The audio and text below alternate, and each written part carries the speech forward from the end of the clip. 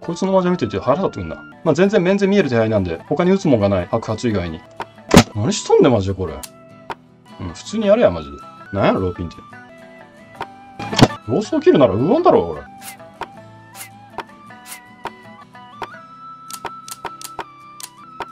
何切るか予想しろって言われたら、逆に嘘以外の選択肢が思いつかないんだよな。勝松さんの打ち方だったら。まあそうだよな。お前のマージは全部わかるわ。浅すぎる。誰でもできるわ、こんなマジは。はい、えー、白切る。うん、これは白か。芦田愛菜のが強いわ、こんなマジだったら。うん、勝俣はリアンソーでしょ。うん、わかるわ。うん、リアンソーの間に怒っとるわ。ああ、テンパっとこう。まあこれ9ピンギリできないようだったら、まあもう話にならんわ。するんかえー、そっちかい何しとんつもりさんこれ取るわけねえだろ、枚数もちゃうし。